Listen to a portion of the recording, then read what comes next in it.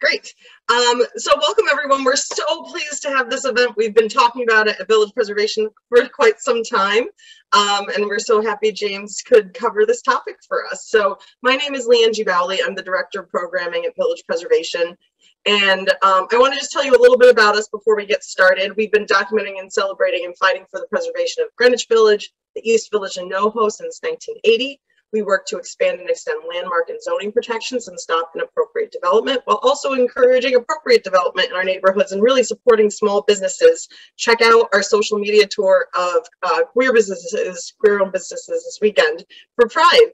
Um, so we host roughly 75 programs that are free and open to the public like this one, and we do that through membership and donations. So once I'm done and I turn things over to James, I'll put some links in the chat where you can find out more, and we really encourage you to find out about membership and things like like that. Um, but with that said, I would love to turn it over to James. I'm just as excited to learn like all of you. Um, and if you have any uh, questions about village preservation, feel free to put them in the chat and I can respond. And so James, thank you so much. Please take it away.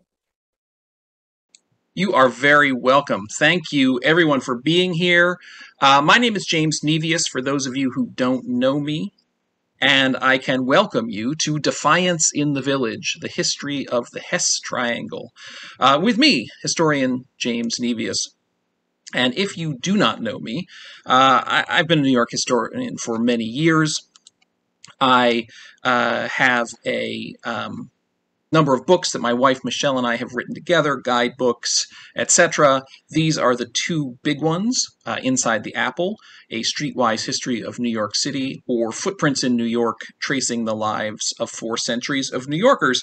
And I am perhaps chagrined to note that neither of these uh, books talk about the Hess Triangle. Uh, they do talk significantly about Greenwich Village, however. So if you are a Greenwich Village aficionado or a New York City history aficionado and have not read either or both of them, uh, well, now's my chance to plug my work. So please check them out. I'm very, uh, we, we, Michelle and I are very pleased with both of these uh, volumes. But enough about me. Let's talk about the Hesses. So if you are at all familiar with the corner of Christopher Street and 7th Avenue South, uh, you are perhaps familiar with this little mosaic that is embedded in the ground there uh, that says property of the Hess estate, which has never been dedicated for public purpose. It is approximately 24 and a half inches on the short side of the triangle and approximately 26 and a half inches on the long side of the triangle, uh, though I will confess I have not ever taken a measuring tape myself to figure out. And if you read online, um, if you read online, we'll get into this. Uh, there is a lot of information that is true, half true, untrue, never true, completely made up uh, about the Hess Triangle. And one thing, just as a sort of seems like a little detail, um, no one seems to agree on what size it is but this seems to be generally the consensus about 24.5 by about 26.5. Uh, and it is in many books uh, and uh, websites and all over the place. And this is perhaps just a good summary of it. Uh, a tile triangle about two feet on each side is built into the sidewalk at the corner of Christopher Street and 7th Avenue South. In 1910, the family of David Hess owned a five story apartment building not five stories. The city of New York forced him to sell his building to make room for the new subway system. That's true. The city made a mistake, however, and left the Hess family with a small triangle shaped patch of land. A plaque remains on that spot to this day and you can read it there yourself. So this is the basic information that you are going to run across in any book, website, etc. And what Village Preservation and Leanne have asked me to do is sort of dive and delve into this story. Uh, and uh, I've really, I've really spent a lot of time uh, trying to track down every single thing that I could about the Hess Triangle. And I'm here to tell you that one of the reasons why you get, in general, this one paragraph about the Hess Triangle and not a lot more is it's hard to come up with a lot more. But what we can do today is we can talk about how this came to be, why it's there, who the Hesses were, uh, why it exists, and uh, you know, sort of put it in the context of the development of Greenwich Village between, say, the 1880s uh, and the 1922 uh, when this was dedicated. Uh, so here's a newspaper article from the New York Times on July 27th, 1922, letting us know the exact date that this mosaic was put in the sidewalk. Small realty parcel, private ownership inscribed in tiles, two foot plot. Um, so this was published the day after the mosaic was built. Uh, you know doesn't tell you anything that I haven't already told you, except in that very last paragraph, uh, two sort of interesting pieces of information. The owner of record of this tiny leftover parcel is the DH, it's actually DM, Hess Estate of Philadelphia, and it has been assessed on the tax books for $100. So a little triangle of land worth $100 to the tax man.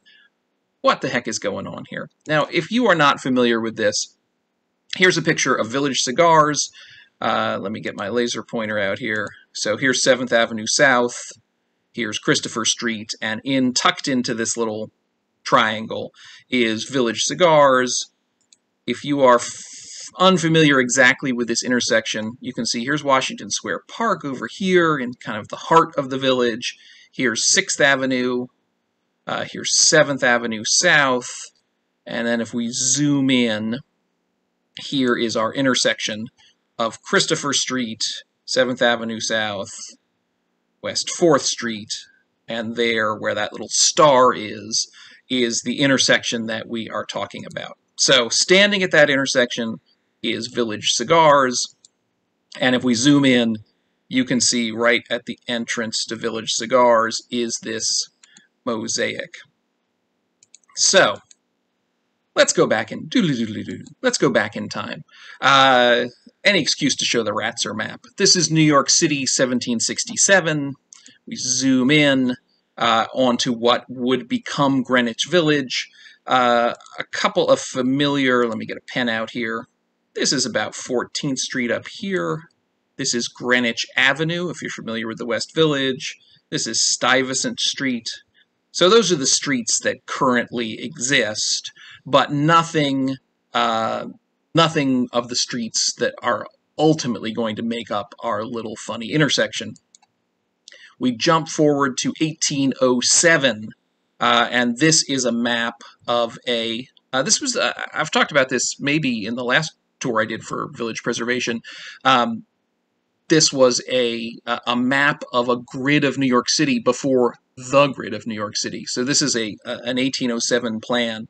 So you kind of have to ignore the stuff that's over here because that's all made up. But if we zoom in, we start to see streets that we're familiar with. Here's Christopher Street up here. This one, this next one here, I'm going to have a little arrow for you. Columbia Street uh, will ultimately get named Grove, and if that were to go through to Christopher Street, uh, there would be our intersection. So by the time you get to 1807, the streets are starting to become streets that we recognize. There's, uh, let me get a laser pointer. Uh, there's Downing Street there, still around. There's Carmine. There's Morton and Leroy. So the streets of the West Village, which in those days was the village, uh, are starting to take on their modern shape, if not their modern names. And I'm going to be doing a talk in August with Village Preservation about the kind of creation of the modern village, and we will get much more into this at that point. But uh, we have a Reason Street here, which was named after Thomas Paine's book, The Age of Reason. It ultimately gets named Bur- uh, Burroughs, uh, the whole thing just goes crazy. Uh, sorry, it's Barrow. Columbia is named Burroughs. Columbia can't be named Burroughs and be next to a street named Barrows, and so they change it to Grove. So we leap forward, and now we're starting to see a village that is recognizable. Uh, this is a map from the middle of the 19th century. There's Washington Square has now been built. Grove has now been cut through, so no longer uh, Burroughs or Columbia, and so Grove and Christopher come together. boop, right there, and that gives us a uh, that gives us a little uh, or uh, insight into how that these uh, these streets finally come together. Now they're not all yet, uh, if you look at this map carefully, labeled correctly. Um, I, I love the village. I mean, I really do. But this is Barrow Street, and then Obviously, they called this Barrow Street. We now call that Washington Place. If you're at all familiar with this neighborhood, you know that Waverly Place comes over here and branches off into two streets, getting people all sorts of confused.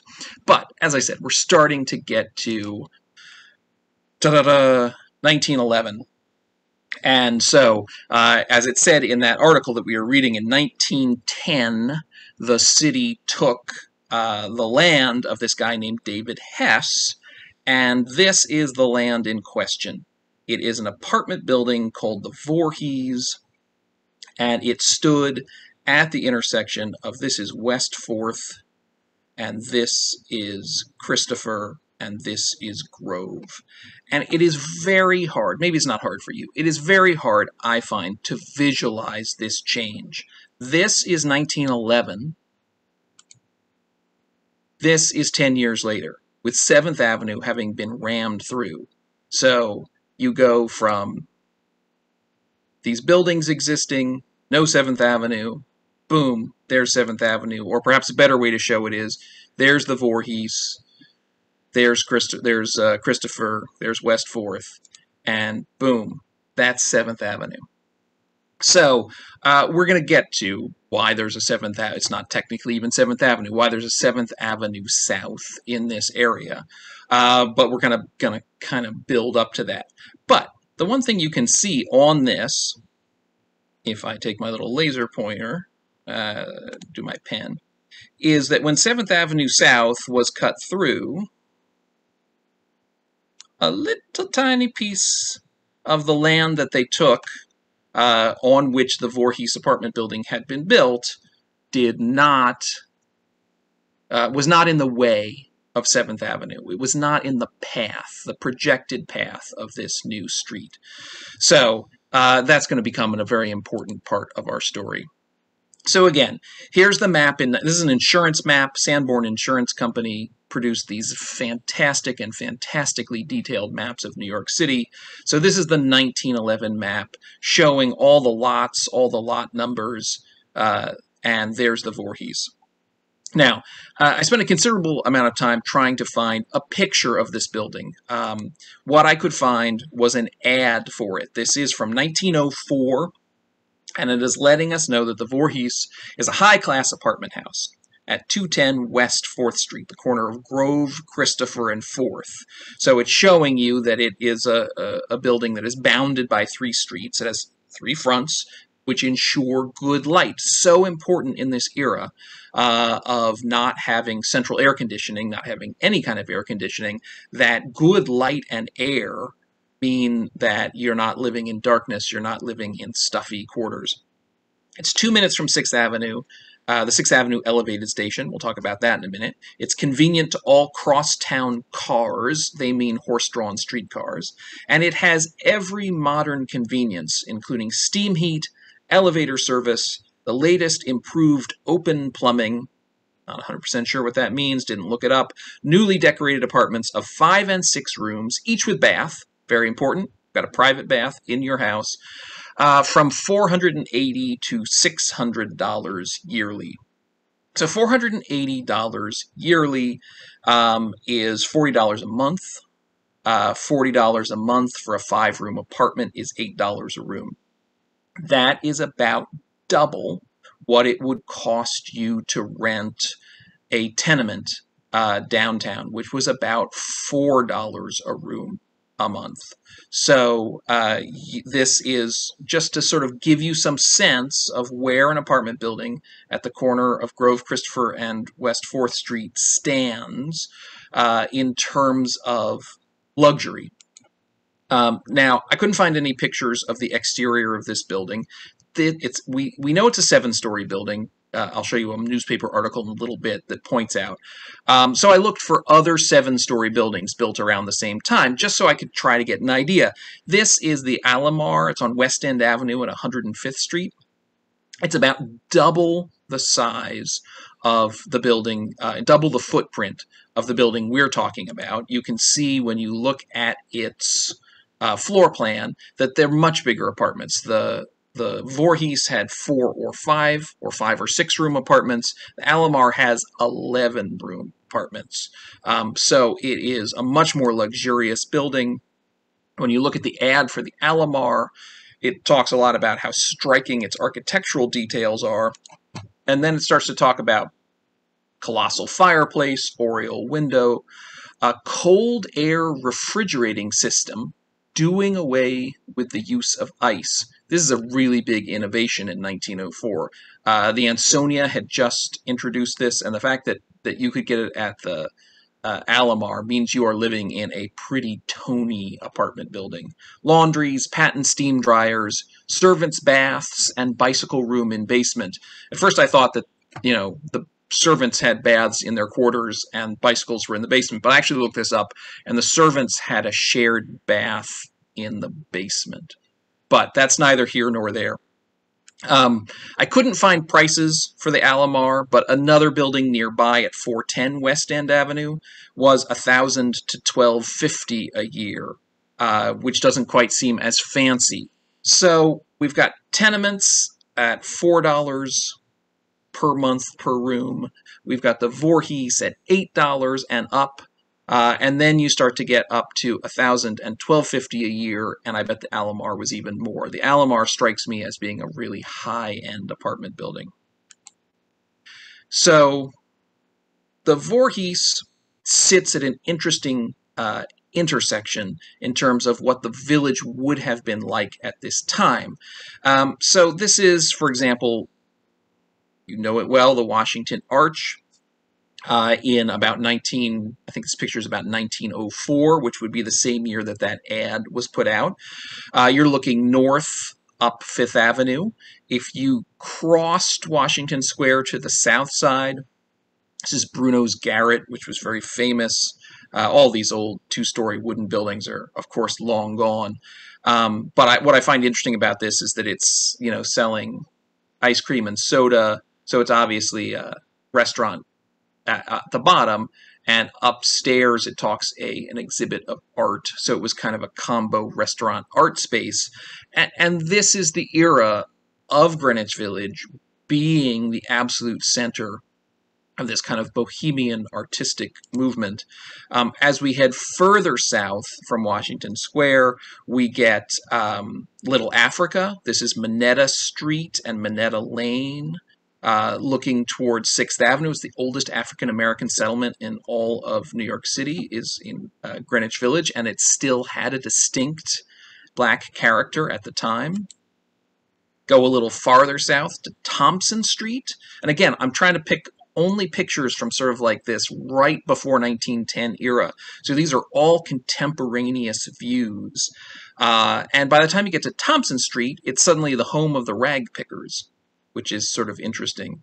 Uh, and this is another picture of Thompson Street from the exact same time um, when it was a, a, a, very Italian street.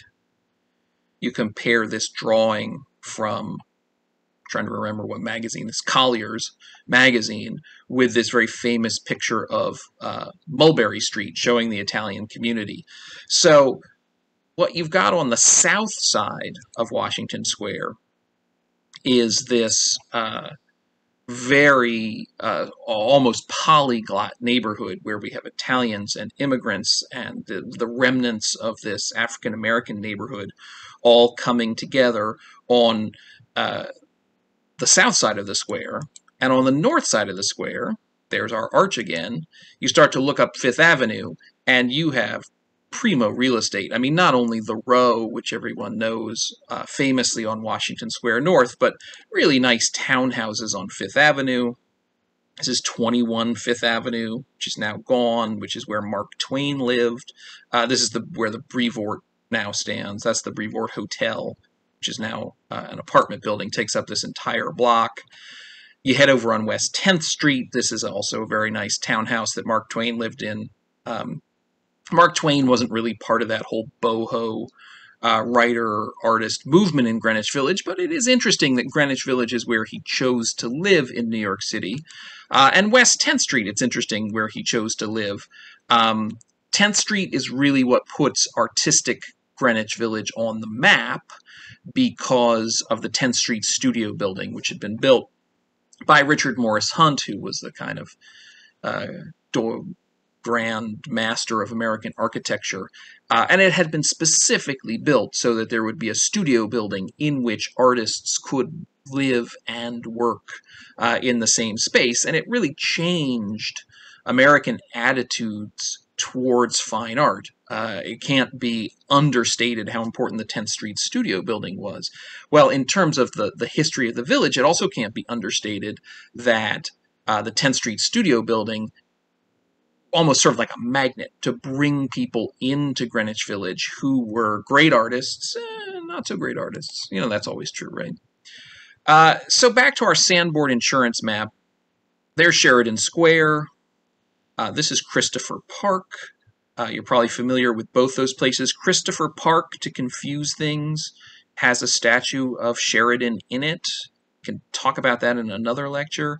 Uh, the stone wall is here uh, on Christopher Street. Here's Waverly Place, the Northern Dispensary, and uh, all of that leading to this, which is the um, station on the the Sixth Avenue elevated train. I'm not quite sure why this next. I'm sorry. I'm pausing because I'm like, what's the next slide? Oh yeah, that's the next slide, telling you what the uh, where the station is. So starting in the late 1860s, but really not getting going until the 1870s, New York City uh, has its first experiment with rapid transit. And that rapid transit is uh, elevated trains, the Ninth Avenue, the Sixth Avenue, the Third Avenue. Uh, this is the one that we are concerned with. Blue, it comes down here. It comes up West Broadway to Bleecker. It turns, it heads up. There was a station at 8th Street, 14th Street, and then upwards. So that was the course of the 6th Avenue elevated in Greenwich Village. Lovely painting or illustration from a magazine showing it running in front of Jefferson Market Courthouse. Uh, here's a photograph many years later of the same thing. There's a C.O. Bigelow uh, right here, which is still in business. Uh, so the Sixth Avenue elevated. This is a, a John Sloan painting. So the the Sixth Avenue elevated brought people into the village, took people away from the village. It made the village accessible, but it also, in some ways, cut the village into two portions. Now, these two portions already existed. There was west of Sixth Avenue, which was the older part of the village with those streets that don't quite make sense. And then there was the east side of uh, Sixth Avenue, which is the grid and Washington Square and all those things. So uh, it's not like those things didn't exist, but the Sixth Avenue L kind of exacerbated the issue. Um, what you end up with west of Sixth Avenue we start to get this kind of concentration of bohemianism. Uh, so we have the very famous Pirates Cave and the Ink Pot. These are all on Sheridan Square. These are photos by Jessie Tarbox Beals, who is this incredible chronicler of the village in the years before the subway. Uh, so late 19th century, but really the decade, say between 1900 and 1910, is what she captured on film. And they're amazing photographs that really show you, give you an insight into what was drawing people to the village. I love this picture of the village art gallery and the tea room uh, with them set up outside. This particular version of the picture doesn't have her hand drawn captions on it. Um, but she often captioned these photos. Um, this is a the same Sheridan Square showing the horse-drawn carriage, the one that was uh, the horse-drawn trolley, sorry, the one that was so convenient to the Voorhees. There it is, going down Washington Place. This is inside one of the shops. So, uh, if you lived in the Voorhees, um, and just to show you, this is Sheridan Square, and here's the Voorhees. So, if you lived in this building, you were mere steps away from the kind of center of the Bohemian community in Greenwich Village, which was the center of the Bohemian community in America. Uh, so it was really quite an interesting building, and I tried to find out who lived there, uh, and, and there's not a lot going on. I mean, you look at newspaper accounts, and you get um, this one, which is talking about a guy named Lawrence McQuaid, and another guy named Arthur McGuff. Uh, getting arrested for beating up the janitor who worked at 210 West 4th Street. Evidently, he went outside and said, Stop making a racket, and they beat him up. Um, you have this gentleman named Fabian F. Lafabor at 210 West 4th Street, um, being one of the many people writing in 1896 to the board of uh, aldermen of New York City and asking them to take that little triangle of land and either name it after Sheridan or Farragut. Uh, Admiral Farragut uh, lost out in this case, and so William Henry Sheridan gets his square that same year. Um, uh, we have another newspaper article from a few years later talking about a man uh, named James Watson of 210 West 4th Street, who ran an illegal pool hall over on uh, 8th Street near Broadway. Uh, and we have this is absolutely fascinating uh, a, an ad for a book by Leda A. Churchill called A Grain of Madness which I wasn't uh, thinking I was going to be interested in, and then started reading. And now it's fascinating, and I want to read the whole book. It's available on Google Books if you're looking for um, a, a interesting book. But I started reading it before I realized that she is an incredibly uh, forgotten and important figure in American literature because she started writing in the I want to say 1870s um, about men and women who were interested in same sex relationships. And this was 100% taboo.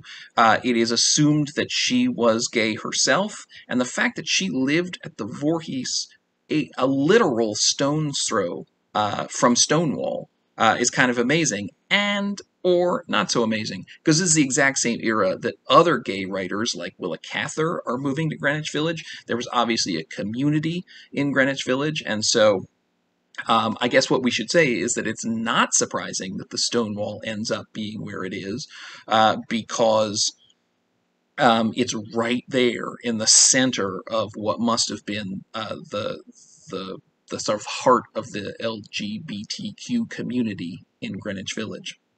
Uh, all of which was about to come crashing down. Boom. With the opening of the subway. So in 1900, the city breaks ground for its first underground railroad. This is a picture of the City Hall station, uh, now closed, which was the kind of crown jewel of the whole thing. And what the city decides to do is run a subway from City Hall. It runs up the east side to 42nd Street to Grand Central, it makes a jog over to Times Square and then it runs up the uh, west side. Uh, I often say it re- resembles an S. Uh, the city actually uh, often referred to it as looking like a Z.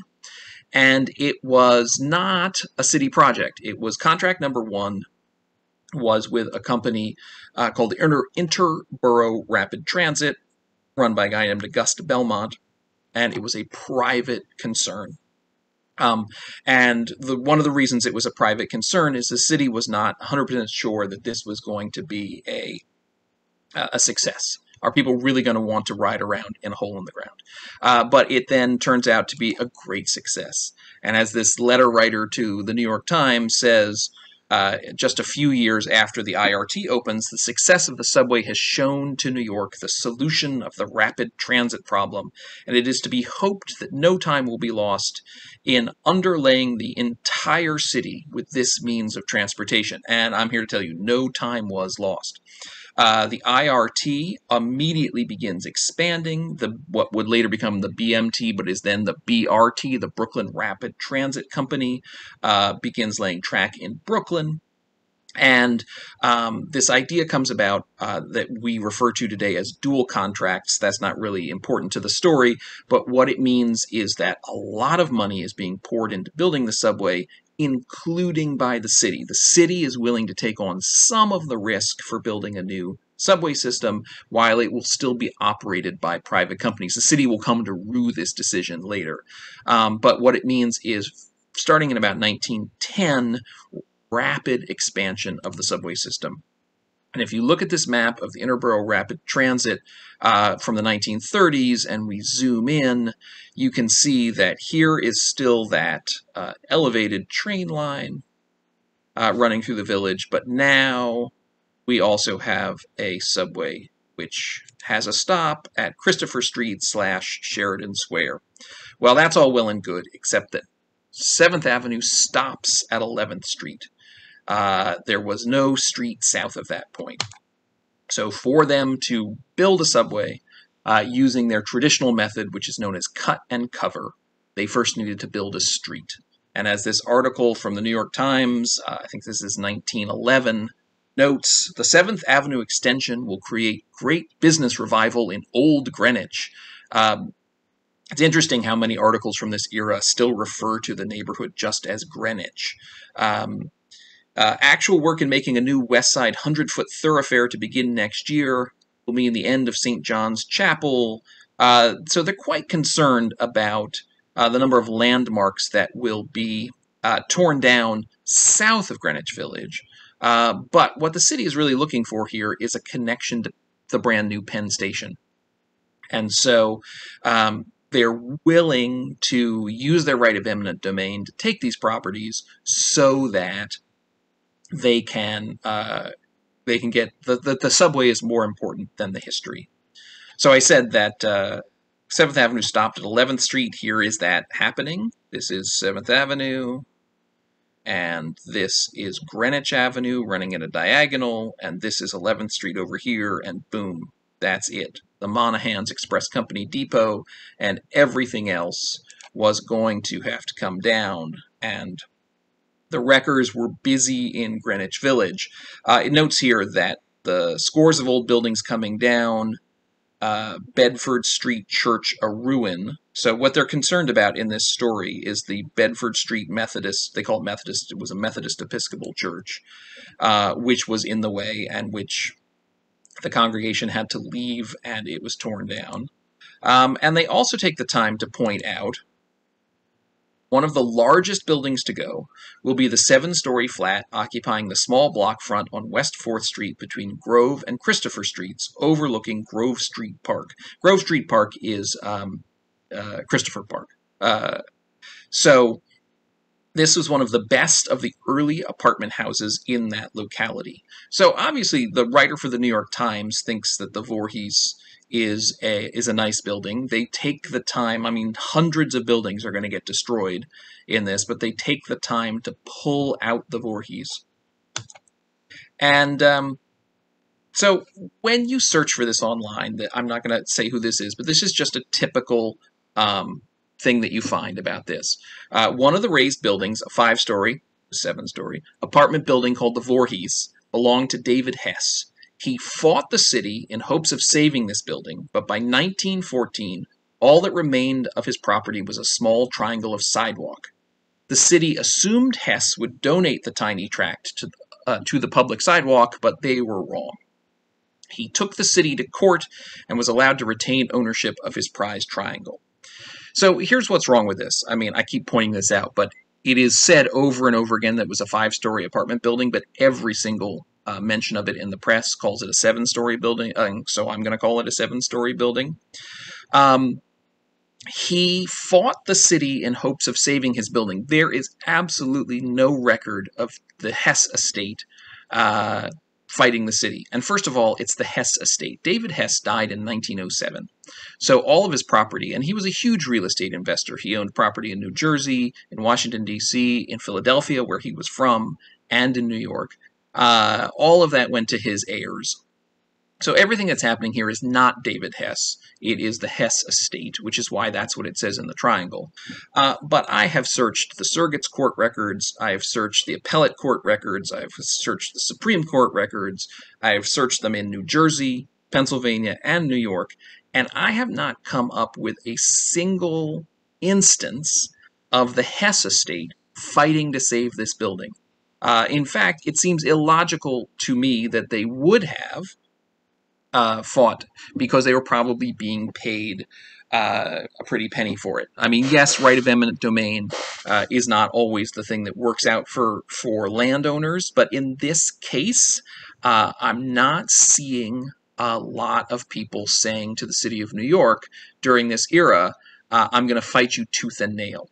And I think that this story has emerged over time because why else would there be the piece of land?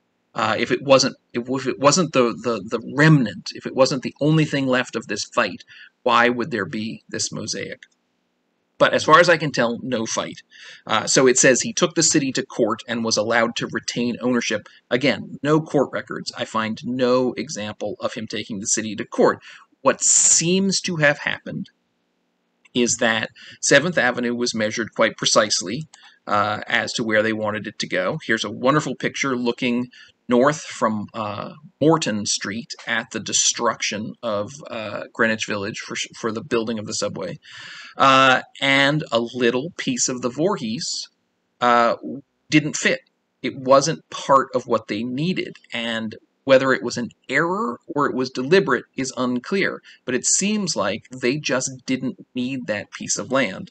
And so the surveyors did what they were supposed to do. They were supposed to draw a line, straight line, up and down, both sides of where 7th Avenue South was going to run.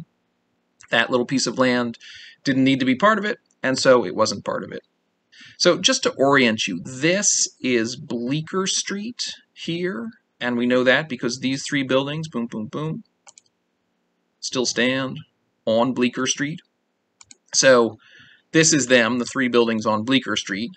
And somewhere up here, just outside the focus of this, is uh, is our corner. And it's really annoying that this picture was not taken a little bit closer. But one thing that I want to point out is that they talk about how the the Voorhees was unusual uh, it's seven stories tall, one of the tallest, one of the oldest, one of the best. But clearly there were other tall buildings in the neighborhood. I mean, this seems like it's a pretty tall building that must have been torn down. Uh, even these ones on Bleecker Street, this is one, two, three, four, five. That's six stories tall. So seven stories was not all that unusual. So I got really excited when I found this picture, which purports to be a building having been halfway torn down at Grove and Christopher Street. And I'm like, that's got to be our building. Um, and maybe, maybe it is. There is a chance that you are looking at the back of the Voorhees. I'm pretty sure we're looking at the backs of buildings here because this looks like the back of this house, not the front of it. But while a small portion is cut off by the construction fence here, that is a door not a window, which means that is at the very least the second story of a building is probably the first story of a two-story building. Uh, and so that would make this one, two, three, four, five. I suppose there's a chance that the Voorhees was only five stories, but I bet it was seven. So, um, so this isn't the Voorhees, but this is absolutely fascinating that they have just shorn off the part of the building that they needed to take down and have not in this picture taken down anything else. But that's not even the most fascinating part because once you start to zoom in, there's a guy sitting there. Zoom in again. There he is, wearing his hat, reading his paper. Um, I, I, cannot believe uh, in the midst of this that there's someone just sitting there in his house. Uh, but hey, why not? So probably not the Voorhees, but definitely, we'll just zoom out so you can see it one more time, but definitely one of the buildings knocked down, and certainly the most incredible picture. This is, uh, I believe, at the New York Historical Society, this photo uh, that I have seen of this subway construction. So if nothing else, I found this picture and it makes me happy. Boom. Hi there. So, what do we know? We know we have this article from July 27th, 1922, from the New York Times, uh, reporting on the mosaic being put in place. We have an article from the Real Estate Record and Guide. Um, that is a, an invaluable resource to people doing research into late 19th, early 20th century um, uh, real estate in New York City. And I find it interesting that no matter how many different ways I looked, uh, the only uh, thing that I found about David M. Hess was this that the smallest assessed parcel, lot 55, block 591, um, uh, is 24 by 26 inches, owned by the estate of David M. Hess, they get his initial right, of Philadelphia, assessed at $100. Its existence came to general knowledge when a crowd observed workmen laying the tile. So, um, here's a uh, story in a magazine called the Straus Investors magazine. And this is the most, also from 1922, so the same year, 100 years ago, that the tile was laid. And this comes the closest to sort of investigative reporting uh, that I have found anywhere. A short time ago, the smallest piece of real estate in New York City was accidentally discovered and claimed by its Philadelphia proprietors. The lot is a small triangle, 25 by 26 inches, eh, or whatever, directly in front of the door of a tobacco shop at 7th Avenue and Christopher Street. So, I just find that's very interesting. This is 1922. That Village Cigars tobacconist has been a tobacconist for 100 years. We should be celebrating that, too. Um, Workmen have placed the following inscription, property of the Hess estate, etc. It followed as a matter of course that many curious people began to wonder and to ask who and what the Hess estate was, and where it had acquired such a queer parcel of valuable real estate. David M. Hess of Philadelphia is the owner, and records show that this tiny triangle became detached from a corner lot of which it was originally a part through an error made by surveyors when the street was being widened. Some time ago, the Hess estate was called upon to pay accumulated taxes, so it was discovered because it was being taxed, and the persons concerned issued a prompt denial of ownership of any such lot. They were interested enough, however, to come to New York, and there they saw a plot of land scarcely large enough for the base of a penny in the slot machine, but strategically located directly in front door of the tobacco merchant's establishment. Negotiations resulted in a lease of this lot to the cigar dealer, which specified that the plot should be marked so that the city might know it had not been dedicated to the use of the public. If this has not been done, the city in time could have claimed it. So, what this is saying is that the Hess heirs, if they're going to pay taxes on this, they're going to keep it a piece of private land. And if they are going to lease it to the cigar store, they can't make money from that lease if it is claimed by the public. So, it is not, as you sometimes read, a mosaic that is a piece of spite. It is not a mosaic that is put in place so that um, they can shake their fist at the city having lost or won or whatever in court. It is, in fact, them putting this down so that they can say, hey, we own this on, um, we own this piece of land and we're going to lease this piece of land and you're not going to take this piece, you're not going to take our valuable 24 inches of land away from us. So we're going to put a marker down. And because they're you know, nice people, they put a nice marker down.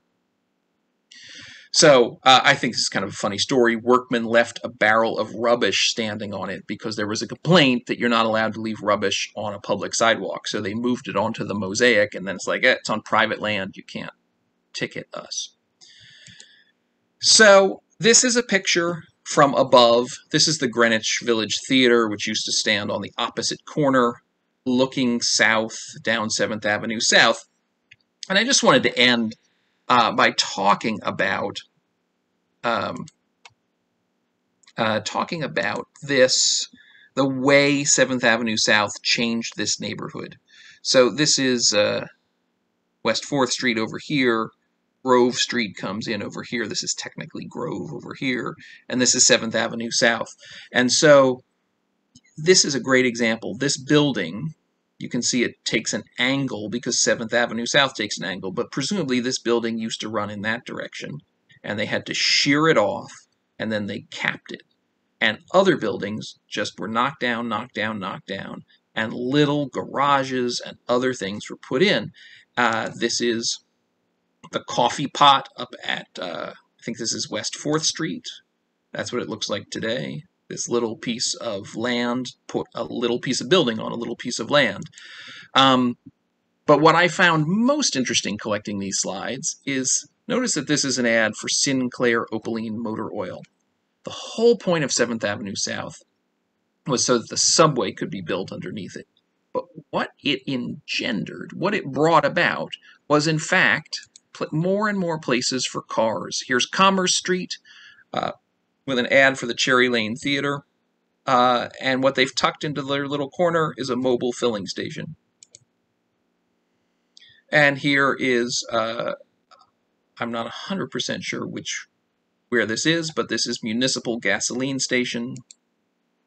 And here's Kesbeck Gasoline Station. And these are all just uh, ways to take advantage of the way that the city uh, carved up this street. Now, all of these gasoline stations are now gone, uh, but I just find it fascinating that the way that industry and commerce decided to take advantage of the subway being built was to in fact make it easier for cars. Uh, and that then, of course, come becomes this big issue uh, in New York City, uh, starting in the 1930s and moving onward about whose city is it? Is it a city of public transit or is it a city of private transit? And that's a topic for another day. But we'll just finish with that same book we started with that talks about the Hess Triangle. Perfectly good little summary. Uh, that summary actually comes from a children's book called Samantha Spinner and the Boy in the Ball. And it is revealed when you turn the page uh, that there is a three-way switch beneath the Hess Triangle that is a secret control for an ultra-high-speed slingshot trolley stationed beneath Cleopatra's Needle in Central Park. This must be true, right? It's in a book. Tapping one of the three special tiles will point the vehicle towards either A, the Library of Congress, B, the wreck of the RMS Titanic, or C, an empty field in Dynamite, a suburb of Spokane, Washington. Oh my god, I've tapped it. Oh no. There we go. Welcome to Dynamite, folks. So thanks. I'm going to look at the questions uh, and see if there's anything that I can answer. Thank you so much for joining me today. I would love for you to join me on a future talk. Um, these are the three that are coming up. I draw special attention to Thursday, August 11th, when uh, I'll be doing a talk called Escape from New York in conjunction with Village Preservation. Uh, 1822 is the year of the yellow fever outbreak. So the Hess Triangle was 100 years ago. Uh, and it, uh, 200 years ago, is when Greenwich Village made a massive, nearly overnight shift from being bucolic uh, suburbia to, or outright countryside, to being a major part of New York City. And so we're going to talk about how and why that happened. The pandemic, epidemic, whatever you want to call it, that swept through lower Manhattan and drove people. So please go to walknyc.com if you want to sign up for that. Prior to that, uh, on Tuesday, July 12th, uh, on the 284th anniversary of New York being shelled by the British, uh, we're going to talk about how New York got itself into and then tried to get itself out of the American Revolution. And on Thursday, July 28th, uh, we'll take a trip, a virtual trip to the beach, and do a history of Coney Island. And all the details of these talks are available on our website at walknyc.com. So, do you agree that the triangle results results from a surveyor's error? Um, or do you think it fell outside? I don't think it was an error. I think that the surveyors were doing what they were told to do. Uh, and the fact that that piece of land was not part of the survey uh, was not their problem. You know, so they just did the uh, they just did oh they just did what they were told to do, and that's that. Who maintains the mosaic, and why did the Triangle Store want to lease it? Uh, they wanted to lease it because it was their front door, and um, I think that if everything had gone according to what the city's plan would have been, that piece of land would have been absorbed into the lot on which the triangle was built. And in fact, today it is owned by them. So it was leased from 1922 until about 1933. Um, don't quote me on that. It might have been as late as 1938. Um, and then it was sold outright. So now the cigar store owns that lot. Uh, and so uh, it is all part. Uh, the gas station building on the right in the photo is still there and landmarked. Yes, a number of these buildings are still there uh, that were gas stations. Uh, they just are not uh, gas stations anymore. I don't think there are any gas stations on 7th Avenue South. There used to be a Lukoil over the Soviet, Russian sorry, I'm dating myself, the Russian one over on 9th Avenue, but I don't know what happened to that. Once the city realized that Triangle remained with the Hesses, they could no longer use the argument of eminent domain. Uh, because it wasn't necessarily acquired. Yes, I think that's exactly right. It wasn't necessary for the city to acquire it, so they didn't bother to even try. Uh, they just simply taxed it. And as another researcher has figured out, while the triangle is about 24 by 26 inches, uh, it seems like if you look at the lot itself, uh, you like zoom into the photographs, it might have been more like about six or seven feet on a side, the triangle.